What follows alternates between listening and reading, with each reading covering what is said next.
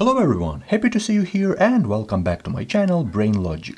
Really interesting, relaxing question today. We have 20 minus 20 divided by 2 and minus 4. Very easy question on the first side, everyone know about this subtraction sign, about division sign. We have two times a subtraction sign and one time we have this division sign. So here's our question. Right here on the left hand side we have a lot of options. We have option A, B and C. So right now I suggest you to pause the video and try to solve it by yourself.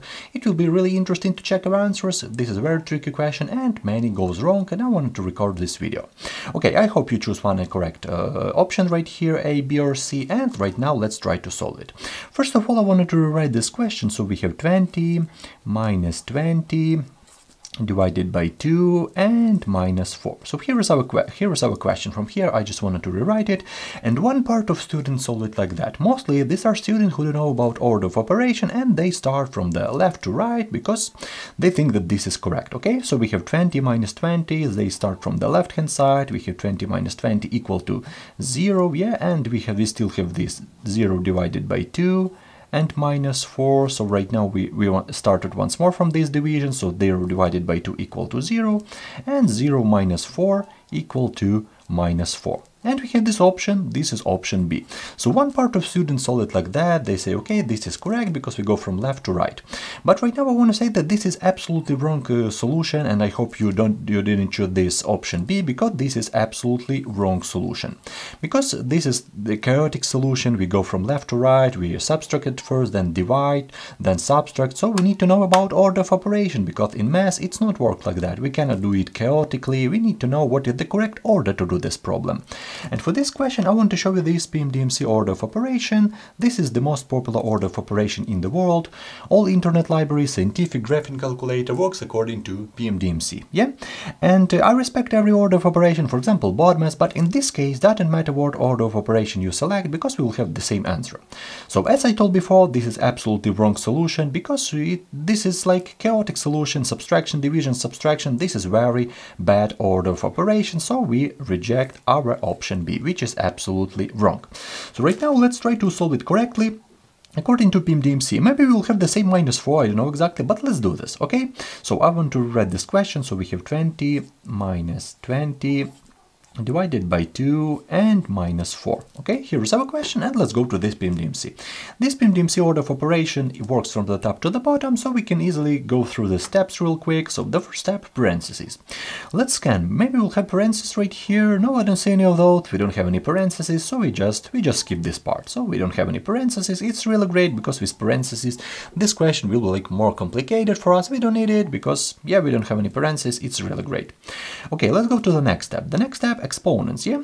Uh, I don't see any exponents, we don't have any cubes, force power, we have like regular numbers without any powers. It's really great as well because Imagine if you have, for example, 20 to the power 20, it's, it will be really hard to raise these because this is very huge power. In our case, we don't have any exponents, so we just skip this part. Okay, let's go to the next step. The next step, multiplication, and a lot of students do this common mistake. They say, okay, multiplication, now we need to find multiplication, uh, first uh, multiplication sign, but uh, commonly we need to find multiplication and division sign, because this is the uh, one common group, yeah? So multiplication and division sign, let's scan right here. Okay, subtraction, we are not interested in this. Here we have right here division, we are interested in this, but this division we apply only to these two numbers, yeah? We don't need it to, to apply it to the whole expression expression only to this division 20 divided by 2 okay? So we have division it's really great we find this sign and we don't have multiplication. Doesn't matter we don't have multiplication it's it's really great. So we have only division. So saying in other words if you look uh, to the last step addition and subtraction. We have this subtraction sign right here we don't have addition sign but main rule right here division all the time is before subtraction all the time. So every time you need to divide at first, then you need to subtract, okay? This is maybe the common rule right here, and right here we had this mistake, we start from subtraction, but we cannot do this like that, because right here, subtraction, this is our last step with addition, yeah? This is one common group from left to right. But saying in other words, multiplying and division is before addition and subtraction, so we need to do all the thing with division multiplication, and then easily you can subtract it. So we have 20 from the beginning, and the first step, as I told before, before. This is not this subtraction. This is 20 divided by 2, which is equal to equal to 10. 20 minus 10 and minus 4 equal to, this is like easy question right now because this is equal to equal to 6.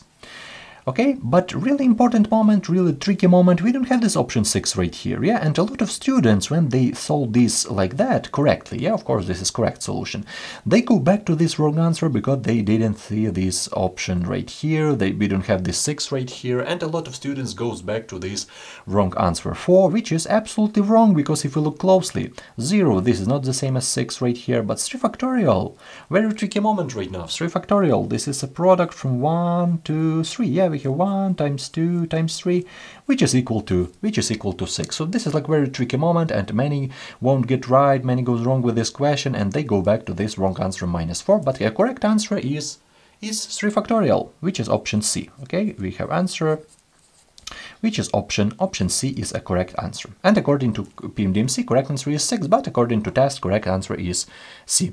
So I hope you understand this explanation, I wish you all the best in your mathematical adventure, and I hope your answer is the same as mine, but definitely don't feel bad if you get this wrong. I wish you all the best in your mathematical adventure, thank you for your time, and have a great day.